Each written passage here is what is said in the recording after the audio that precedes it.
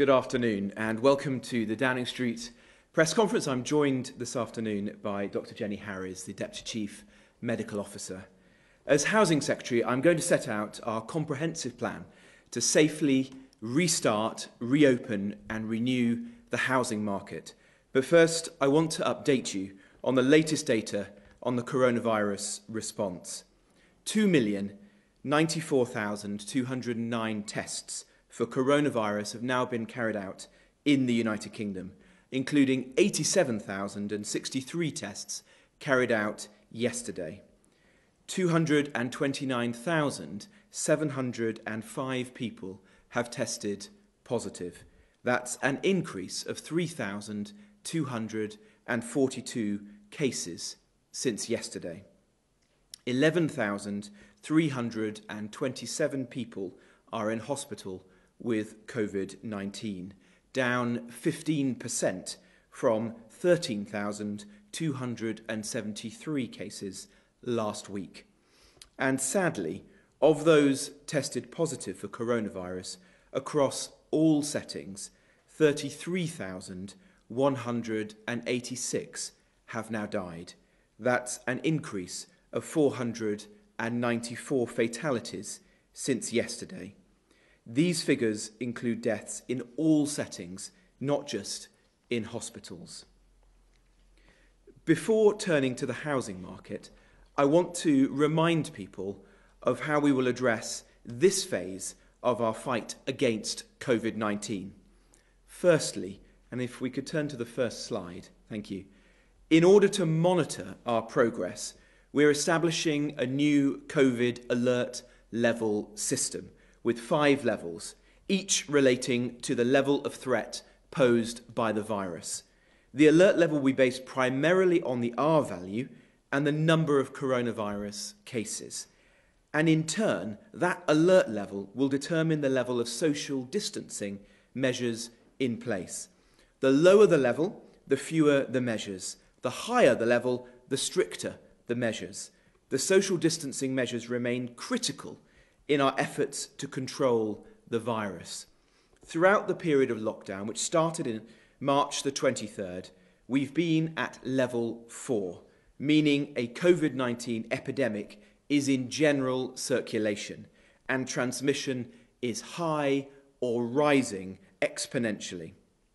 Thanks to the hard work and the sacrifices of the British people in the lockdown, we've helped to bring the R level down now that we are in a position to begin moving to level three, we will do so in time in careful steps.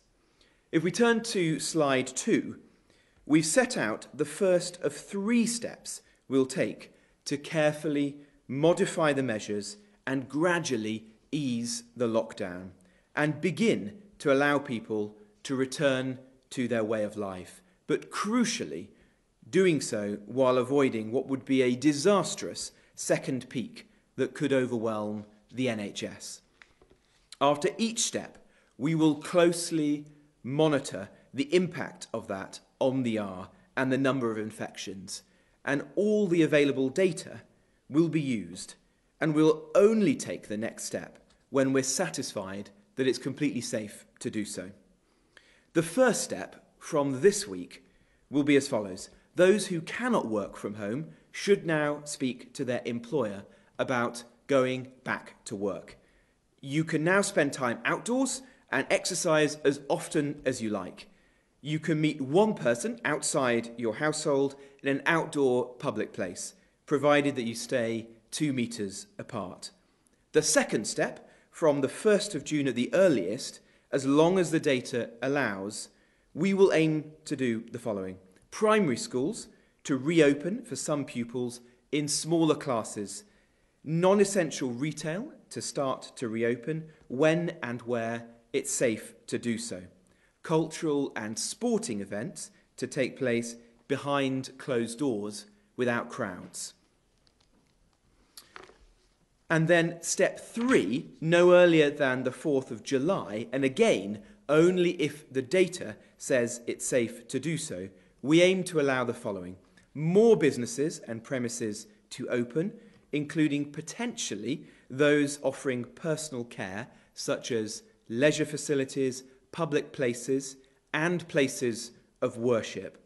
And on that last point, I've been speaking to faith leaders and will convene later this week a task force to establish when and how places of worship can open safely for some of the practices uh, where social distancing can take place, such as private prayer, potentially private prayer being able to be carried out earlier than July the 4th.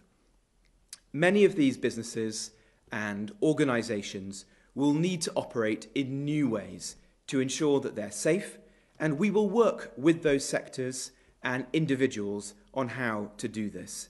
If we turn to the third slide, having taken the first step in carefully adjusting some of the measures and our advice to people on what to do, we've also updated what we are asking people to do, which is to stay alert, to control the virus, and to save lives. For many people, the appropriate course still means staying at home as much as possible. But there are a range of other actions we're advising people to take when they do go out to work or for other activities.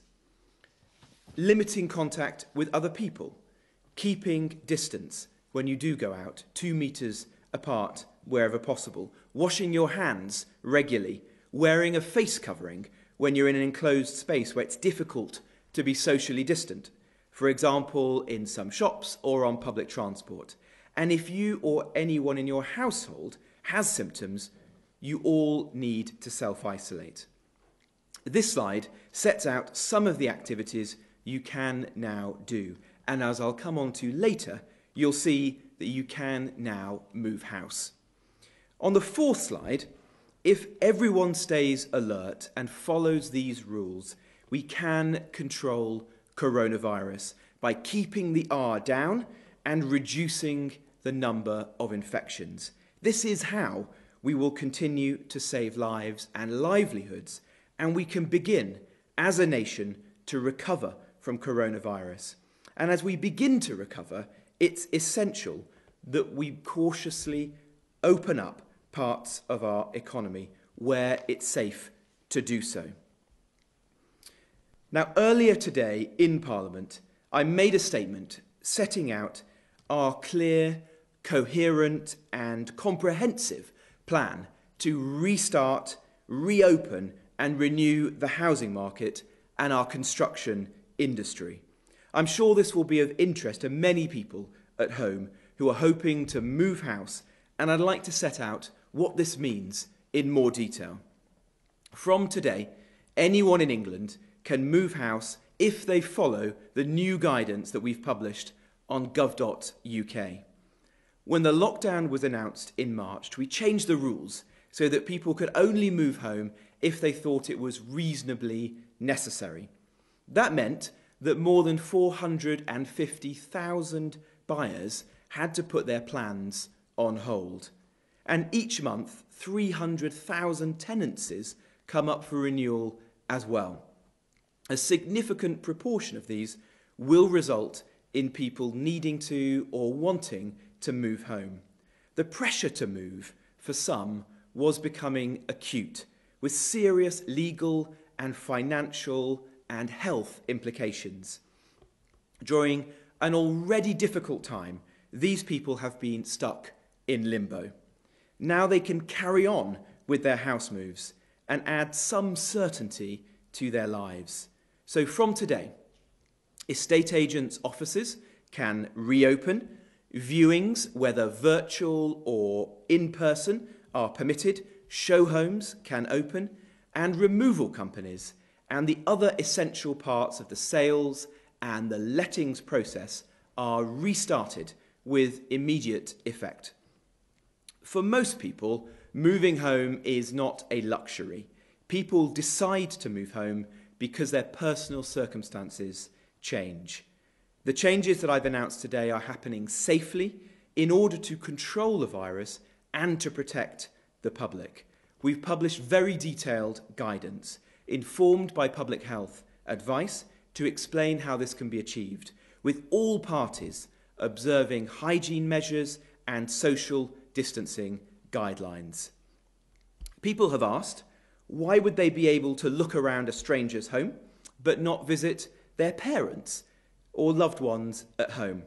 Now, I understand why this may seem confusing at first glance, especially when people have been separated from their loved ones for so long. But our guidelines make clear that in the first instance, viewings should happen virtually. When viewings do happen in person, we've set out a clear plan to ensure the safety of everybody involved in the property itself. Those considering moving in and the estate agents and letting agents. These requirements include visits being by appointment only, open house viewings should not be taking place, and speculative viewings where buyers or tenants are not serious yet are highly discouraged. All parties should follow strict social distancing guidelines. All internal doors should be opened where possible. The current occupier should vacate the property for the duration of the visit, going out for their daily exercise, going out to the shops, or standing in the garden if that's possible. All involved in the process should wash their hands upon entering the property, and once the viewing has taken place, all the surfaces in the property, including the door handles, should be thoroughly cleaned. There are, of course, exceptions. For those who are self isolating or have coronavirus, they should not be moving or going back to work or allowing tradespeople or professionals into their home. Where this is the case, all parties involved in house buying or selling should prioritise amicable, sensible arrangements to change the move dates for the individuals concerned. That's been happening across the country in recent weeks, and it will need to continue. We would also ask those who are clinically vulnerable and those who are shielding to consider very carefully their personal situation and to seek personal and specific medical advice before deciding whether to commit to or to proceed with moving home. If you're in this situation and you decide that you must go ahead, all professionals involved should be made aware so that they can put in place any additional precautionary measures to provide further protection for your health and further legal protection to make sure that the transaction goes as smoothly as can be expected. A vibrant housing market means more than buying and selling homes. We need to get building again, and Britain needs that. It's something that this government has always been committed to, something that our ambitious First Homes programme will do later this year with a 30% discount on new homes for key workers, including nurses and teachers and police officers, as well as local first time buyers. We want them to be ready as soon as possible and that's just one of the reasons why I'm keen to get construction up and running. To help with this, I'm today announcing further steps to support safe house building by allowing more flexible working hours on construction sites where it's appropriate and with local uh, consent. I'm allowing sites to apply to extend their working hours, again with immediate effect, to 9 pm Monday to Saturday in residential areas and beyond that in non residential areas, and setting out a very clear government position that these applications should be approved by local councils unless there are very compelling reasons not to do so. Varied start and finish times will make it much easier for sites to observe social distancing, take the pressure off public transport like the tube in London, and keep Britain building.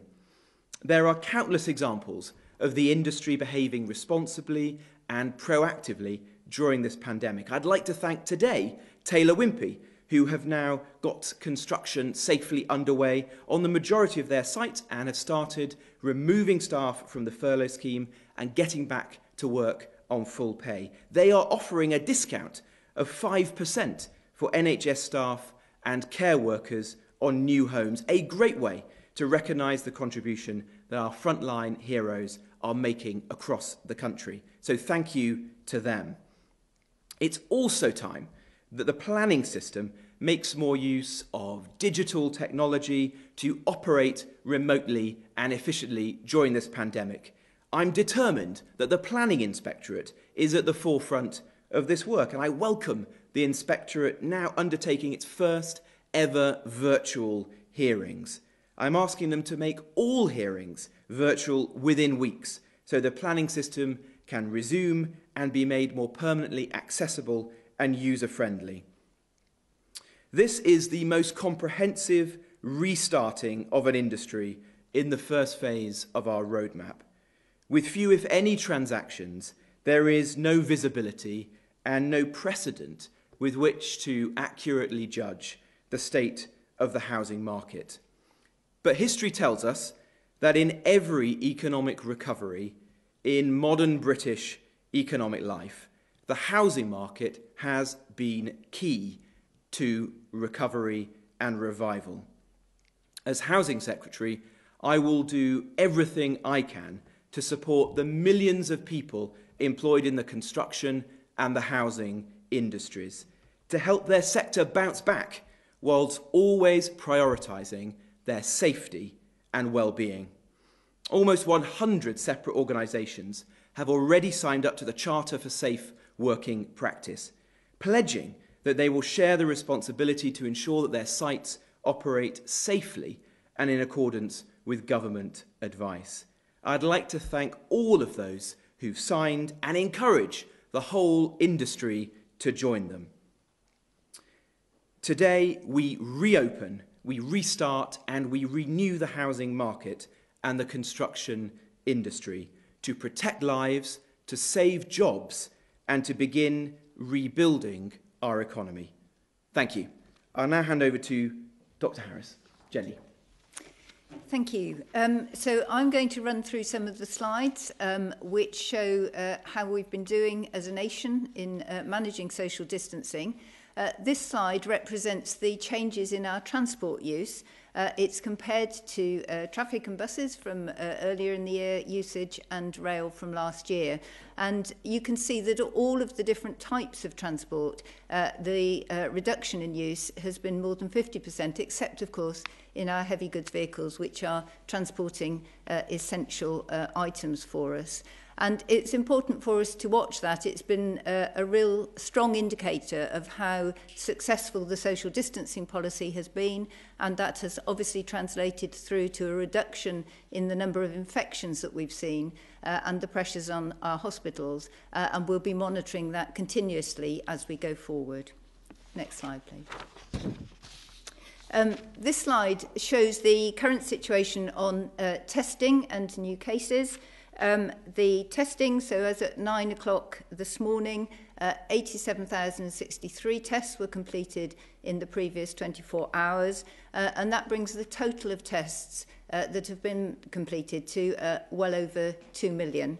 Um, we have capacity well over that, and that will take us forward into uh, supporting our uh, testing in uh, particular uh, hotspots, uh, so care homes and in hospitals where we want to uh, ensure we have maximal capacity, but absolutely increasingly with our test and trace program. Uh, so having that uh, capacity there will allow us to go forward as the number of cases drop. And we can see in the bottom half of the slide uh, the number of confirmed cases. Uh, so just in the cases confirmed uh, on the 13th of May, 3,242. Um, again, 229,705 uh, cases confirmed in total. Of course, we, we recognise that not all cases will be counted here. These are laboratory confirmed cases. But even so, as our testing capacity has increased, we can see that the number of confirmed cases continues to decrease. And that's a very positive sign as we move forward. Next slide, please. Uh, so this slide represents the uh, current information uh, from our hospitals. Uh, it's collected slightly differently across the UK nation. So in the top half of the slide, uh, you can see that the number of admissions uh, on the 11th of May was 711. And if we look at the week before that, that's down from just under 1,000. So again, a continuous downward trend in hospital admissions. Clearly, it's still important that we recognise there are a significant number of people uh, getting ill and needing support in our hospitals. That represents huge amounts of work still on the front line for healthcare workers. Uh, but nevertheless, it's a positive trend, but it's a, a slow one, and we need to ensure that social distancing uh, continues through this next phase of the plan. And on the bottom half of the slide, again, uh, the fewer patients who are coming into hospital, it's the proportion of the sickest, uh, the sickest numbers of, of those patients who then go on to need critical care beds. Um, and uh, that you can see in all of the nations has decreased uh, over the period. You can see the epidemic curve. Uh, but I think particularly important where we have been concerned previously as we were rising up that curve about capacity to deal with critical care. Uh, just 21% of critical care, care beds are occupied with COVID patients. Next slide, please. Um, and uh, it's important to recognise that although there is some variation across the country, everywhere we can see that there has been a peak and there is now um, a plateau and a general trend downwards. Uh, London clearly uh, had a, a significant peak and in other areas the shape of that curve is flatter. It does mean that, again, we need to keep really careful about social distancing and applying uh, all the control measures to manage the virus uh, as we go forward. Uh, but nevertheless, you can see that uh, 11,327 people in hospital, and that's down from uh, more than 2,000, or just about 2,000 uh, higher than that last week. So a continuous trend downwards. Next slide, please. Uh, and this is the, the last slide. Um, so these are the confirmed deaths from every, uh, every uh, uh, part of the system, not just hospital deaths. Uh, so sadly, there have been 494 uh, tests confirmed with a positive laboratory test uh, in the last 24 hours and 33,000 uh, overall. But again, you can see that uh, reflection of the downward trend uh, carrying on uh, as we go forward. Thank you. Thanks very much, Jenny. Well, our first question comes from a member of the public, and it's from Michael, who is in London. I'm one of the many thousands of people working within the theatre and performing arts industries. It is clear it will be many months before theatres reopen and customers feel comfortable enough to come again. Will the government pledge to protect these industries that will be without any income for quite some time?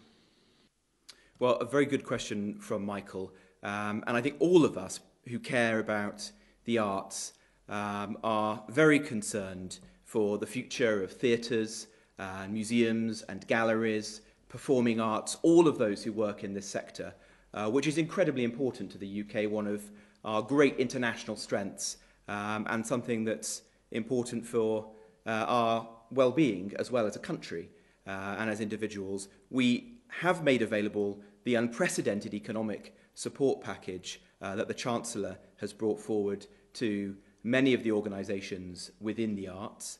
Um, And so the furlough scheme, for example, which is paying part of the wages of millions of our fellow citizens today, is available to uh, some of those organisations. For those people who are self-employed, uh, there's also uh, the uh, Treasury scheme there, which uh, launched today, and so I would uh, refer self-employed people working within the arts to that if it's applicable to them. And the Culture Secretary is also working very closely with our main cultural institutions to see how we can guide them through undoubtedly a very difficult period of time and to put in place the social distancing guidelines so that they are ready to reopen uh, when the science and the medical opinion allows. And as you'll see from the roadmap that we've set out, uh, we hope that that will be later this summer, but it is very conditional upon continuing to keep the rate of infection down and continuing to control the virus, of which, of course, we've all got an important part to play. The second question is from Laura, who is from Rossendale. And Laura asks, there was a lot of talk about people being able to meet up in, fa- meet up in family clusters or bubbles. Where are, uh, when are we likely sorry, to see this put in place? Well, the guidance that we've set out uh, in this first phase doesn't uh, propose that. It says that you can go out uh, more, you can exercise in public places. And when you're out in those public settings like parks, for example, you can meet up with one person from outside of your family as long as you maintain social distancing. So you can sit on a park bench or you can go for a walk talking to them as long as you're two metres apart. don't know if Jenny, you want to, is there anything you'd like to say about um, what the longer term yes, trajectory I, might be for meeting up with family members? I, I mean, just to say it's a very important uh, public health issue as well, not simply from the control of infection perspective, but because we do recognise that uh, people who, particularly those who've been on their own or who um, are uh, isolated from others would very much welcome this. It will be a very strong positive mental health boost, I think, quite apart from anything else. Uh, but it does get quite complicated, um, and uh, I don't want to run the risk of going back to some of my other uh, social advice, but uh, there are, it gets, to make it a very fair intervention and consistent with public health advice, it can get quite technical. So, for example, if you have uh, families with large numbers uh, already in their families countries who want to meet up, you end up effectively with quite a large gathering, even if it's just two families meeting. Um, and I think it's really important that we think through the implications of that, um, particularly across families in different circumstances. If your family is a long way away, for example, you may be less able to do that. Um, but recognise what the benefits will be, I think, for uh, individuals, and we are able to put in uh, public health advice to some of those decisions. Thanks, Jenny. Now, the first question from a uh, member of the media is Laura Kuenssberg from the BBC. Good afternoon, Laura. Good afternoon. Thank you very much, Secretary of State. Um, why is it that the government can't seem to get a grip on the crisis in care homes? And Dr. Harries, could I ask you, is it right for some hospitals to be trying to persuade care homes to take in patients who have tested positive for the virus? Well, thank you, Laura. Care homes are at the absolute heart of all the work that we're now doing across government. It's essential that we provide them with the support that they need and deserve. Today, the Prime Minister announced a further £600 million of financial support that will be given to councils and flow through to care homes so that they can uh, fund the changes that we're asking them to do, which will include better infection control within care homes, uh, bringing that up to the highest standards if they're not doing so already, ensuring there's less rotation of staff, particularly agency workers, between care homes so we can shield those care homes that haven't had outbreaks as much as we possibly can, ensuring that there are named contacts within councils and the NHS for each care home, particularly the smaller care homes, the smaller independent care homes who might have uh, traditionally less uh, connection with their local council, ensuring that they're getting the support that they need uh, to put in place all of those measures. Obviously continuing to ensure that they get the uh, personal protective equipment that they need and the testing both for residents and for uh, care workers, whether they're symptomatic or asymptomatic. And we're using all of the levers that we have in the testing infrastructure to make that as accessible as possible, whether it's giving them privileged access to testing through their employers and also ensuring that the mobile testing units that we have in many cases uh, operated by the Ministry of Defence, are going to places that are convenient for care homes, in, in some cases to their own car park, so that the staff are getting the tests that they need. Jenny. Thank you. Um, so you ask a very important question about um, effectively good infection prevention control when patients are moving and obviously uh, many of the elderly care home residents will be uh, some of our most vulnerable patients really important to remember that uh, if a patient has gone into hospital, been tested positive uh, at an early phase they, and have had the disease and recovered, they will still be marked as a positive test, but very unlikely to be infectious eh, after a, a, a long period of convalescence in hospital. So I think we're not talking about that. Um, but what's really important in this, the test is, is an important element, but it is about the systems of good infection control, both in the hospital and in the receiving care home. And that is the fundamental basis, whether it be COVID or anything else, of managing patients carefully. The same sorts of issues arise to a degree with uh, in flu and with norovirus, which we'll be aware of. Uh, but I think here, although uh, every um, care, potential care resident, new moving care resident, uh, is tested uh, now in hospitals, uh, there is an important element here. One is even prior to that testing, there was a policy whereby uh, an individual who was moving into a care home would be retained, if you like, in safe isolation within the care home uh, because it was recognised that this was a, a risk group. So they are all having a test now, but they would have been treated in much the same way for quite a few weeks before this.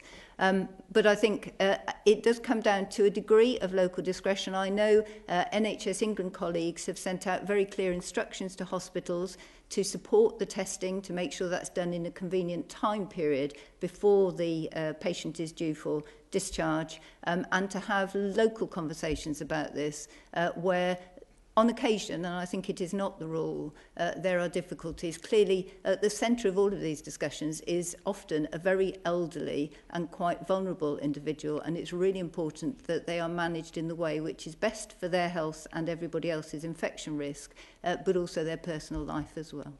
Thanks, Jenny. Laura, do you, do you have a follow-up question? Uh, yes, I mean, you've listed some of the actions that the government's announcing today, um, but we are now two months since the first case was recorded in a care home and there aren't enough tests. There isn't still enough kit we hear from care homes around the country. Care home managers are desperately worried about what's going on. You know why does it seem day after day that the government is not getting a grip on this? Well i don't underestimate the challenge being faced by residents and staff of care homes.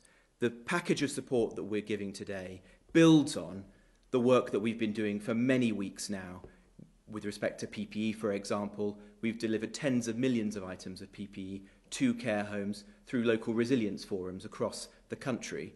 Testing has been going on for some time. It, sure, there, I'm sure there is more that we can do, but we've now brought capacity for testing nationally up to 110,000, and we need to ensure that it's focused on the people who need it the most, including the care home workers. There is more that we can do, and our whole focus now needs to be on ensuring that care homes are guided through the weeks and months ahead and we protect as many people as we possibly can within them. Thanks, Laura. Uh, the next question is from Paul Brand from ITV. Good afternoon, Paul. Good afternoon, thank you. Any extra money for care homes is, of course, welcome money, but the funding you've announced today, as you outlined, is specifically for infection control. Care homes are telling us that sadly one of the greatest costs they face from COVID 19 is that many of their beds are now empty. How does this money prevent care homes from closing? Well, the £600 million that we're announcing today will help care homes to implement some of the further measures that we're announcing in the support package that's being published. And that will be focused on infection control, as you say, and also around helping them to reduce the amount of rotation of staff uh, between care homes. But it builds upon 3.2 billion pounds of funding that we've given in the last two months to local councils, the vast majority of which, 90% of which has gone to those councils with responsibility for adult social care. So there's almost 4 billion pounds of additional funding that's been given to councils to help them meet the very significant additional costs that they're facing to do the things that we've asked of them to meet the challenge of coronavirus. We're obviously working very closely with those councils and with the care sector. And if there's further funding that's required, then obviously we'll consider that in the weeks and months ahead. We need to ensure they have the support, which is partly financial, but it goes beyond that as well. And the package includes ensuring that care homes, including those smaller independent homes, also have expert advice from councils, uh, from public health professionals, and from the NHS to ensure they've got the best infection control, access to testing, the right pr uh, protective equipment, and are making use of the new discharge policies so that residents are only uh, arriving or returning at the home once we know that they're free of COVID-19. I don't know if Jenny, there's anything you'd like to add on the package that we're bringing forward for Yes, for I mean, just homes. from a, from a clinical perspective, um, uh, NHS England uh, already had a plan uh, of enhanced support uh, for care homes in progress, but in fact that has been brought forward um, and there's a lot of joint working to ensure that uh, each care home, that there is a clinical lead in each area who can then uh, oversee and provide specialist advice. And I know, um, I, I don't have the figures here, but there's been a lot of training the trainers, for example, around infection control, which is an important element, um, and directors of public health who are very critical in local authorities. They will work between uh, the adult social care directors and between local public health teams uh, will be increasingly taking a leading role in uh, oversight of that. Many of them are already, but I think it's just pulling all these things together gives that added assurance that uh, there is consistency across the patch. But I, I think um, going back to the earlier point, these are all elements that were uh, generally in place. So every uh, care home has an infection control policy. Um, it's it's an added focus to it though and I think uh, we do recognise in some uh, smaller care homes for example it can be quite difficult to maintain specialist skills so having this extra clinical support and advice going in uh, or available to people is a really important step. Thanks. Are you content with that Paul or do you have a follow-up question? Just a, just a quick one. I mean, as you know, uh, Community Secretary, some of the funding isn't getting through to care homes. It's not being passed on by councils. Councils say they haven't got enough money, and the money you've announced today is specifically for infection control. Wouldn't it be better to allow the care homes to spend the money on whatever they need to spend the money on? Because some of them are closing. We reported last night on one which has now moved residents out of out of the care home. Well, we want to ensure that care homes are financially sustainable um, through this crisis. Uh, and that's why we've given the 3.2 billion pounds so far and now this additional 600 million pounds Councils are under a lot of pressure and we're asking a lot of them to do a whole range of tasks to support us in the national effort at the moment. But it is essential that they get that money through to the front line as quickly as possible. And we're going to be making sure this £600 million gets to care homes as quickly as we possibly can so that it can help them to put in place some of the important measures that we've just talked about. Thanks very much, Paul. Our, our next question is from Andy Bell from Channel 5. Andy, good afternoon.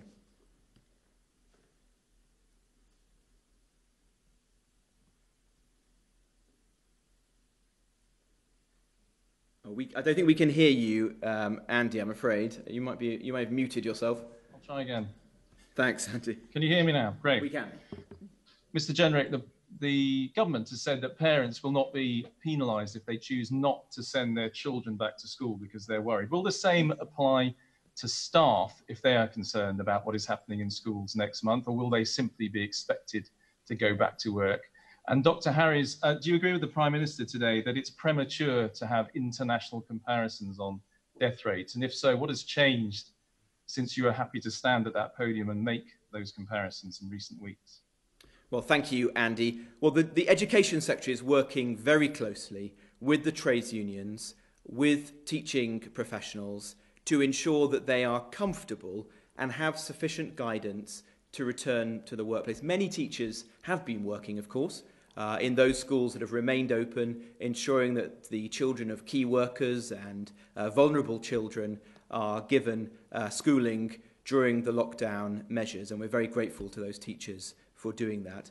But we're going to keep on working with the trades unions to provide as much comfort as we possibly can with a view to getting schools open uh, as quickly as possible in the, towards the timetable that the Prime Minister set out at the weekend. Jenny. Thank you. Um, so I think you're referring for, for viewers' benefits to uh, a slide. The slide set has changed slightly. Um, uh, I, as a scientist, uh, as a professional, um, I work on a basis of transparency of data. I'm absolutely delighted to discuss uh, death statistics comparisons uh, over uh, on whatever occasion is necessary.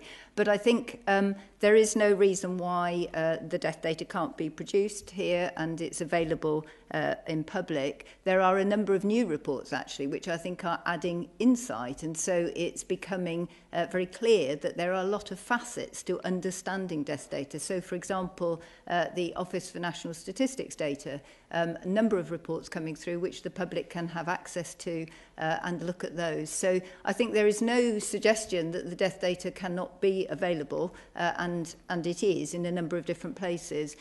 the main point, I think, of your question was around uh, comparisons. And you will know that I have stood here very often, but I think a whole range of other professionals, chief scientific advisor, uh, chief medical officer, um, uh, Sir Ian Diamond as well, and highlighted some of the risks of doing this. So I think all of us professionally are very clear that because death data is collected in very different ways in different countries, particularly at the moment, because the rate of testing is very different and because we're still understanding the risks to different stratas of the population, so by age uh, or by other risk variables, the only really uh, good comparison in the longer term overall will be to look back at all-cause mortality, so that's a death from any cause at all, whether it be confirmed or not, um, and look at that um, when it's adjusted for age of a population. That accounts for whether a particular country has a very high proportion of older people and therefore expect more deaths, uh, but also to be seasonally adjusted as well, if possible, because we know, for example, in, in normal times when we don't have COVID, that we will see excess deaths through a flu season. So all of those things are important. We're not quite there yet. And in fact, the pandemic is still moving at different times in different countries. So the time to do this on an international scale will be to look back probably 12 months hence still, uh, and then do the comparison. It's always good to keep looking on the way and to see if you can learn, and we do that. Uh, but uh, that's the time, I think, to do it, and it will be all cause mortality. Thank you. And Andy, would you like to follow up on either of those questions? Yes, Mr. Jenrick. I mean, do you, especially, Mr. Jenrick, understand why people might find it a little strange that that particular slide and those comparisons have disappeared at this point? Well, we, we want to be as transparent as we possibly can. We believe that the way that we now report deaths is amongst the most clear and transparent of any advanced country. We record deaths in all settings.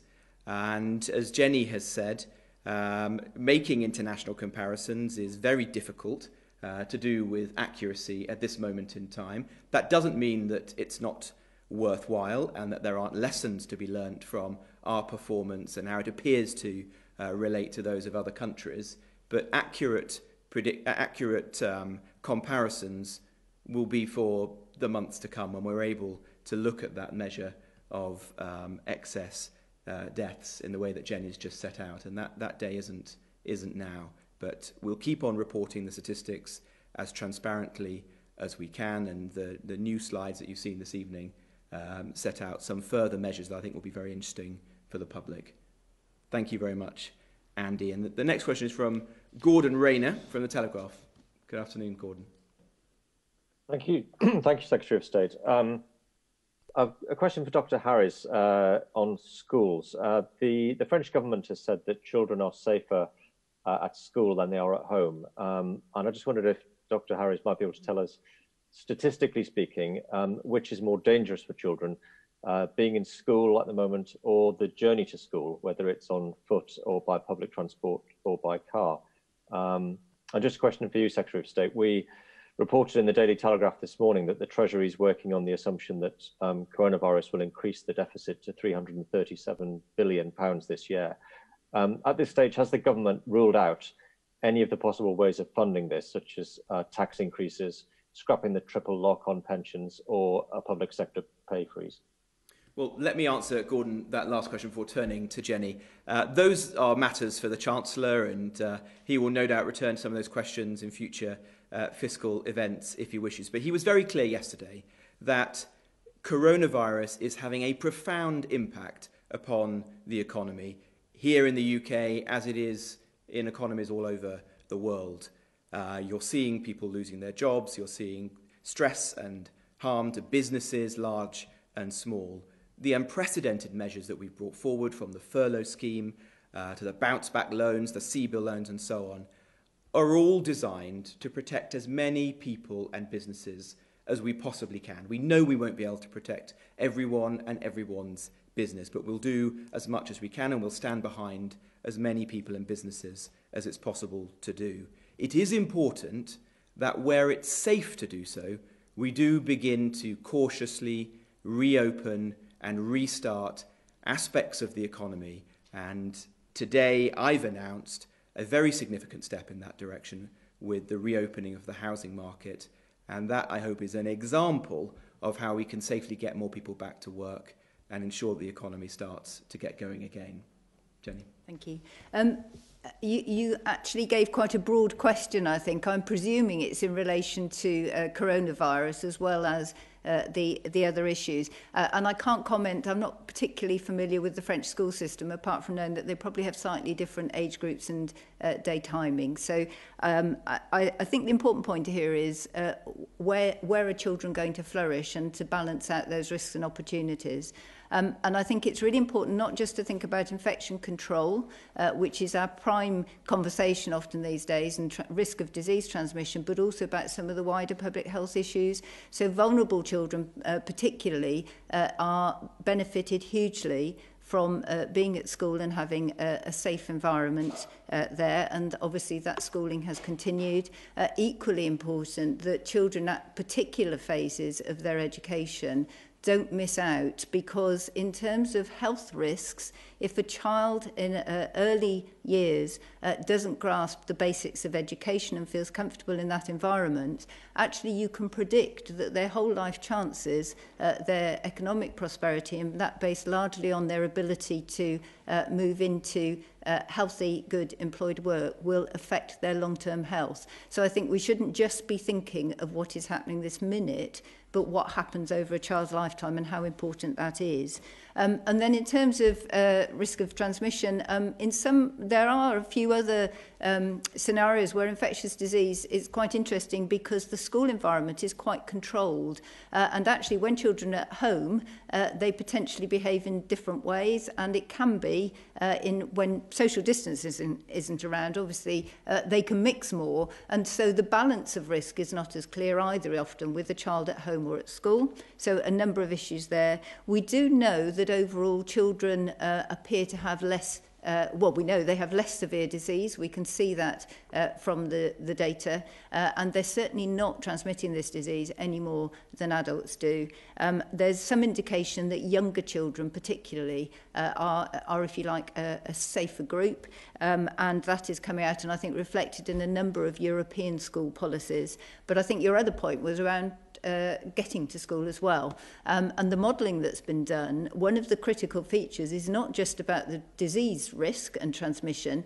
Uh, actually, the really important thing is the social behaviours of the children when they get to school. So for younger children, they tend to be closer, staying in their own areas, potentially walking uh, or being buggied to school. Um, for older children, uh, teenagers, they're tending to move across boundaries, uh, using a lot of public transport, that sort of thing. So I think you know, there are other great opportunities here as well. Um, there are really good opportunities for children to get good health benefits from uh, school walking buses rather than an actual school bus. So really long, quest uh, long question, long answer, uh, but I think needs to be a really balanced one and thinking not just about our risks now, but balancing those with the risks of the child's whole future. Thanks. Jenny, does that comprehensive answer from Jenny answer your question, Gordon, or would you like to come back? It, does. I was uh, the only thing I was going to ask you, Secretary of State, was it if the if the schools don't reopen on June the first, as some of the unions um, are, are asking, uh, how much of an effect that will have on your plans for economic recovery? Well, I think it is important for schools to return when it's when it's safe to do so. Um, anyone who is a parent knows uh, the challenges of homeschooling and so on, and it's important that we get children back into the school setting for all the reasons that Jenny's set out. Um, but we will keep working with the trades unions. Our door is always open to them. And Gavin Williamson, the Education Secretary, will do everything he can to reach an agreement with them so that staff can feel comfortable in the workplace, which is absolutely right. Thank you. Our next question is from Dominic Yeatman from Metro. Dominic, good afternoon. Hello, Secretary of State. Um, care homes were told until March the 13th that it was, quote, very unlikely that any of their residents would become infected. And only on that date were they advised to review their visiting policies. Did you neglect the risk to the care sector and prioritise the NHS at the expense of the old? Well, thank you, Dominic. I think Jenny can set out how an outbreak is managed and how discharge and testing policies have been developed over time, which I think is the heart of your question. Shall I explain that, and then you could you can come back? I mean, I think it's really important that uh, uh, there is an understanding of how a public health incident is managed. So whether it be COVID-19 or, or any other issue, uh, there is a, a relationship between the local health protection team who will always uh, advise on outbreaks and work with local health and care systems to do that. So um, if a case arose through that uh, any any symptomatic individual would have been assessed. If it looks as if there is uh, an outbreak although we're doing much more testing now with more knowledge of the disease that's grown over the last few weeks uh, it would be normal policy to start with to test uh, say up to 5 uh, residents symptomatic residents Once you can identify uh, what the disease is, we're talking COVID here, but it might be flu another year, uh, then it's easier to understand uh, what the proportion of uh, illness is in that care home. So uh, it's not just, it goes back to a point I made earlier in this briefing, it's not just about the testing or the discharge policy, it's about the systems of care that are in place. This is the fundamental building uh, fundamental building blocks of managing infectious disease in a care home. But I think in the context of the point you were making, um, throughout this uh, outbreak, and it would be the same for any other, we look at the background epidemiology of disease, um, and I think the document referred to is a Public Health England document. They will be monitoring background disease, um, and so that document will be looking at where we knew there was a background risk of uh, Uh, transmission. So if it's sustained community transmission, uh, then it's at that point that you might expect cases to be appearing in uh, other environments. And the same applies. You step up the alert system and then step it back down again. Obviously, we're still, we're still at the top now. Um, and I think in between that time and now, there have been a number of different steps. So the point I made earlier about advising discharge uh, into uh, an isolation period for an elderly person is another example uh, of that particular management of care. So I think it, it needs to be taken in the background of what the epidemiology was at the time of the incident or the advice, and that will apply to any documents which Public Health England has produced. And I think at that time we, we did not uh, recognise there was any sustained community transmission. We clearly had uh, cases around. Okay, thank you. Dominic. Uh, yeah, um, just on that, Keir Starmer pointed out today that the death rate in care homes has been running at three times its average, and in April reached 26,000 people. But coronavirus was only blamed for 8,000 of the, those deaths. What is killing the rest? Jenny, do you want shall, to shall answer that? that? It probably goes back to the question before about how you count deaths. Uh, I don't think, I think what we're saying is 8,000 were confirmed linked with COVID. And actually what that means is they were associated with COVID. It doesn't, it's slightly different. What we uh, those individuals had a diagnosis, they had a laboratory confirmation, uh, they could have died from something else but had COVID, or they could have died from COVID. And then the gap that you recognise, actually the same applies, but we don't have a test for those individuals.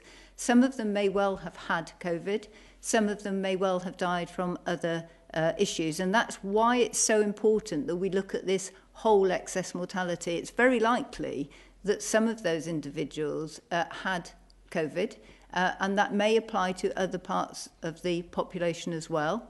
Um, the important thing is whether they had appropriate care and treatment. Um, and uh, I think the other point is, which you're perhaps referring to, is we are really mindful um, uh, as we go forward from a health perspective, as a health professional, to understand and ensure that people, wherever they are, whether it be care homes or the general public, continue to use emergency health services in the way that they should do. Um, and it's important that uh, people do consult them. So uh, we do know that there has been a drop in usage, for example, uh, of uh, uh, A&E hospital admissions for what are normally urgent issues. So there may be a proportion of individuals in there who have not accessed health services normally. It's why it's really important that we look at that total excess mortality over time. We encourage uh, care homes and the general population to use our health services normally where it's an emergency um, and that we continue to count uh, those cases where we can. Thanks very much, Ian. Our last question is from Derek Healy, and Derek is from the Dundee Courier. Good afternoon, Derek. Hi there, thank you, Secretary of State. I'm sure you'll be aware of the concerns over what would happen in regards to the job retention scheme if Scotland or indeed any other part of the UK is to remain in lockdown longer than England. Uh, it's been suggested the Scottish Government may not have sufficient borrowing powers to bankroll an extension itself. Um, so could you confirm, please, would you expect the Treasury to continue funding the furlough uh, programme if people in Scotland need to stay off work for longer? Or is any other solution being looked at? And a question to the Deputy Chief Medical Officer as well, if I may. Uh, we've seen footage today of people returning to golf courses, garden centres, and going back to work. And of course, we've seen the uh, measures you've just introduced in terms of moving home. Presumably, modelling has been done on what that easing of restrictions would do in terms of the R number. Um, are you able to say specifically, possibly in terms of a number, what kind of an impact you would expect in the transmission rate from those changes introduced today? Thanks, Jerry. Well, with respect to the uh, job retention scheme, which has been um, hugely uh, successful in keeping people in work, retaining the essential link between employees and employers, uh, the Chancellor has announced that we're going to be extending that for four months until October, and it will remain in its current form until the end of July. So that gives a lot of um, advance notice and guidance to employers and uh, employees who depend on it in all parts of the United Kingdom. It's a national scheme, and it's right that it uh, remains so. But the Chancellor and his officials in the Treasury will keep on engaging with the devolved administrations and with trades unions and businesses in all parts of the Union, including in Scotland and, and no doubt in Dundee, so that as changes are made in time to the scheme, they reflect the needs of the economy and of working people throughout the UK. Jenny. Thank you. Um, so I, I think the quickest answer to, uh, to your question is to say that uh, interventions which are uh, being eased uh, or, or uh, leisure activity, for example, that's being eased, is designed to do so so that it uh, keeps the R under one. Uh, I think that goes without saying. It's extremely difficult to model uh, all of these different interventions at one time. Uh, and so, for example, we know that outdoor activity uh, is a, a much lower risk than being in enclosed spaces. And that's why you'll see the predominant freedoms uh, are around that while still reinforcing the fact that people need to practice good respiratory hygiene, wash their hands uh, and keep two metres apart. So what the modelers do will build a model around social which as far as possible uh, can predict some of these movements. Now, we can't say in advance how many people might want to move house or how many people are going to turn up on a golf course, but you can make some sensible estimates of that. Uh, but it's a two-part process. So you do an estimate uh, and then you will check what's happening to the R number.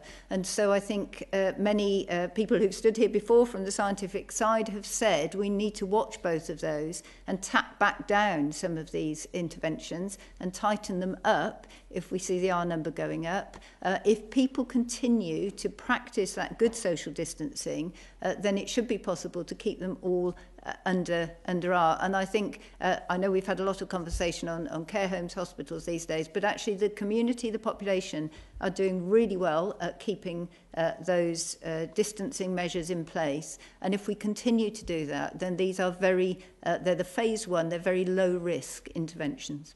Great. Thanks, Jenny. Do you follow up, Derek, in closing? Uh, yes, please. Um, yeah, just to come back again, Mr. Jenrick, uh, businesses will fear there's going to be a cliff edge um, a few months down the line. Are you able to offer them any specific assurances um, that something will be in place here to look after them? Well, there isn't a cliff edge. The Chancellor has extended the scheme now for four months, precisely to give people as much notice as possible and ensure that that doesn't happen.